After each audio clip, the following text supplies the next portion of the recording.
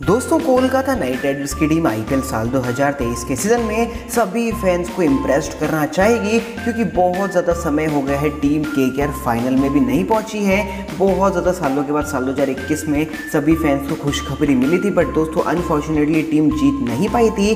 खैर दोस्तों, आगे जो भी टॉपिक होगा, वो आप सभी को पता चली गया होगा बट मैं आप सभी फैंस को बता दूँ, बहुत एफर्ट्स लगते हैं। और दोस्तों, अगर आप बहुत जल्दी सभी अपडेट्स सभी हाईलाइट्स देखना चाहते हो क्रिकेट की रील्स वगैरह तो इंस्टाग्राम इंस्टाग्राम टेलीग्राम पर फॉलो कर लो। सभी अपडेट्स वहाँ सबसे पहले आ जाती है। इसके अलावा दोस्तों, आप सभी को मैं बता दूँ कि आज टॉपिक मज़ेदार है। तो वीडियो अगर आपको पसंद आए तो लास्ट तक देखना। दोस्तों के केयर के बड़े वाले फ़ैन हो तो आप सभी लोग अभी चैनल को सब्सक्राइब करके नोटिफिकेशन बेल भी हम ज़रूर कर लो। सो यार दोस्तों, आप सभी को होता है लाइक शेयर तो आप हमेशा की तरह कर ही दोगे। तो थोड़े एफर्ट्स लगा के लाइक शेयर करके थोड़ी चैनल को हेल्प मिल जाएगी, ज़रूर कर देना।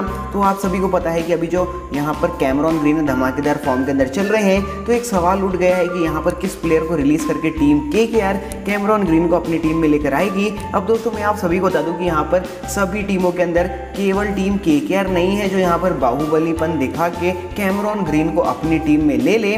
बल्कि दोस्तों, ऐसी बहुत सी टीम है जो टीम कैमरॉन ग्रीन के पीछे जाने वाली क्योंकि उनकी जो परफॉर्मेंस है काफ़ी धमाकेदार है। आपने देख ही लिया होगा किस तरह की ताबड़तोड़ बल्लेबाजी वो करते हैं, खासकर एज एन ओपनर और आईपीएल में क्या होता है छक्के चौके जो ज़्यादा मारता है, उसकी वैल्यू बढ़ जाती है। इसी चलते केवल दो ही टीमें हैं, राजस्थान रॉयल्स और सनराइजर्स हैदराबाद, जिन्होंने अभी तक तो कोई इंटरेस्ट नहीं जताया है कैमरॉन ग्रीन को लेने में। तो ये मान के चलो दोस्तों, अगर टीम के के यहाँ पर कैमरॉन ग्रीन के पीछे जाती है, और आप सभी को पता है कि मुंबई इंडियंस कोई भी नया प्लेयर आता है, उसको अपनी टीम में ले लेती है तो कैमरॉन ग्रीन के पीछे अगर के जाएगी तो कम से कम 10 से 12 करोड़ का एक बड़ा बजट लेकर जाना पड़ेगा। और शायद इतना बड़ा बजट टीम के अफोर्ड नहीं कर पाएगी। और दोस्तों, इसके पीछे कारण बहुत सारे हैं, क्योंकि टीम के के आर अगर एक दो प्लेयर को निकालेगी तो फिर उनको डोमेस्टिक में से एक दो छोटे प्लेयर लेने पड़ेंगे। तो ये एक इफ़ेक्ट पड़ेगा।